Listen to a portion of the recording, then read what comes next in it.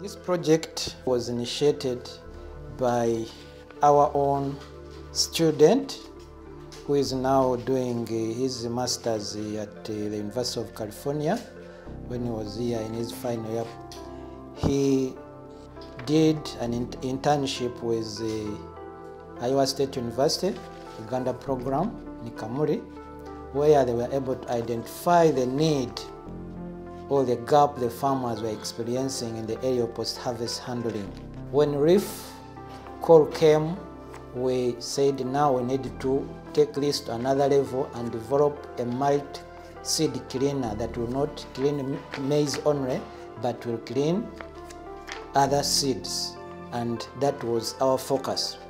So the objective of this project was to develop, test, and pilot. And we developed or we designed a prototype which we tested. After testing it with farmers, we came back and modified it to optimize it so that what we produce, we know that is ready for uptake. Pedal operated seed cleaner pedal meaning that you pedal using the, the bicycle pedals.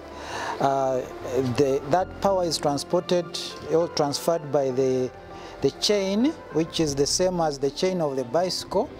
And that the power is transferred to the sprocket, which sprocket drives the shaft of this sieve. And this sieve is multiple. In this case, you would adjust up or down in a longitudinal way and you get the appropriate size of the grain you are going to, to clean. The fan is also blowing the lighter chaff to come out from the other end such that you receive the good seeds and the other small things which are not seeds are trapped are gotten down from here of which then the bigger things which are not part of the seeds are received from here.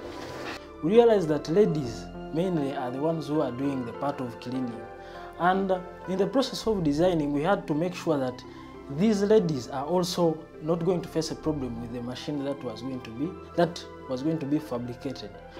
omuntu yenna kabeere omwana okutandikira ku myaka musanvu asobola okukikozesa nti just kusotta tekikaluba tekirina nti oba kinywa masanyalaze just kusotta busosi osotta onyumirwa okola physicals The way we distributed these uh, cleaners, we were guided by farmers who were in position to provide space and security for these cleaners and who are able to train other farmers on how to use these uh, cleaners. This project can scale to all regions of Uganda involved in seed uh, production.